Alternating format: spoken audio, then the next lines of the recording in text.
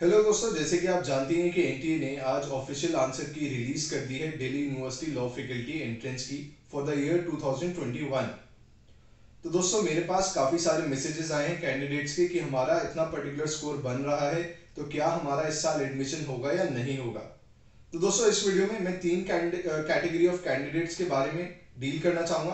पहले वो जिनका स्कोर काफ़ी अच्छा है 250 प्लस स्कोर आया है दूसरी कैटेगरी वो, जिनका स्कोर 220 से लेकर 240 के रेंज में है। और तीसरे कैटेगरी ऑफ़ कैंडिडेट्स वो, जिनका अनफॉर्चुनेटली इस बार अच्छा स्कोर नहीं आया है, जिनका स्कोर थोड़ा कम रहा है। तो दोस्तों, सबसे पहले हम बात करते हैं उन कैंडिडेट्स की जिनका स्कोर 250 से ज़्यादा आया है। तो मैं आपको बताना चाहूँगा कि काफ़ी अच्छा स्कोर है। अगर हम प्रीवियस ईयर के कट ऑफ़ ट्रेंड्स को देखें तो आपका सिलेक्शन 100% हो जाएगा। तो आप चाहें तो सेलिब्रेट कर सकते हैं। मिठाई खिला सकते हैं, पर कहना यही चाहूँगा कि आप ऑफिशियल स्कोर कार्ड का वेट करिए। मतलब जब इतना टाइम वेट कर ही लिया है तो एक ऑफिशियल स्कोर कार्ड का भी आप वेट कर लीजिए। पर आप कॉन्फिडेंट रहिए 250 प्लस अगर आपका स्कोर है तो आपका लॉ फैकल्टी दिल्ली यूनिवर्सिटी में प्रीवियस ईयर के कट ऑफ़ ट्रेंड्स को अगर हम देखें तो एडमिशन हो जाना चाहिए। और अगर आपको लगता है लीगल पेडागोजी ने आपकी उसमें मदद की है थोड़ी भी, या असिस्टेंस दिया है, किसी भी तरीके से आपकी हेल्प की है तो आप चाहें तो मुझ तक मिठाई का डब्बा भिजवा सकते हैं। और दोस्तों, अब सेकंड कैटेगरी ऑफ़ कैंडिडेट्स के बारे में बात करते हैं, जिनका स्कोर है 220 से लेके 240 की रेंज में। वो थोड़ी एक डाइसी सिचुएशन है, क्योंकि प्रीवियस ईयर की कट ऑफ़ का ट्रेंड देखें अगर तो कट ऑफ़ लगभग 218 से लेके 228 तक रही है, दो साल की अगर हम बात करें। पर इस साल कट ऑफ़ क्या रहेगी, ये कोई भी प्रिडिक्ट नहीं कर सकता है। तो आपसे पहली रिक्वेस्ट मैं ये करूँगा कि आप किसी से भी ये मत पूछिए कि क्या मेरा सिलेक्शन होगा, इतने मार्क्स से या नहीं होगा। क्योंकि कोई भी एक्यूरेट प्रिडिक्शन नहीं कर सकता है कि इस साल कट ऑफ़ क्या रहेगी। तो आप कट ऑफ़ आने का वेट करिए ऑफिशियल कट ऑफ़ आने का वेट करिए और ऑफिशियल स्कोर कार्ड का वेट करिए, क्योंकि कोई भी एक्यूरेटली प्रिडिक्ट नहीं करता है।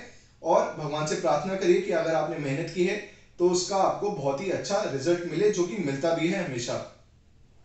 अब दोस्तों, मैं थर्ड कैटेगरी ऑफ़ स्टूडेंट्स की बात करता हूँ, जिनका अनफॉर्चुनेटली इस साल स्कोर ज़्यादा अच्छा नहीं बना है एज पर देयर कैलकुलेशंस तो उनको मैं बताना चाहूँगा कि आपके पास दो ऑप्शन हैं। अगर आपको किसी आप जॉब में है या फिर आपको कोई एक अच्छी जॉब ऑफ़र हो रही है तो आप चाहे तो जॉब के साथ साथ अगले साल ड्यू लॉ फैकल्टी की तैयारी कर सकते हैं। अगर आपके पास आप जॉब नहीं करना चाहते हैं तो आप क्या कर सकते हैं? अगर आपका लॉ में ही इंटरेस्ट है तो आप कोई भी स्टेट यूनिवर्सिटी या फिर प्राइवेट कॉलेज को ज्वाइन कर सकते हैं। कुछ अच्छे स्टेट यूनिवर्सिटीज या प्राइवेट कॉलेजेस के ऊपर मैं एक वीडियो बना दूँगा।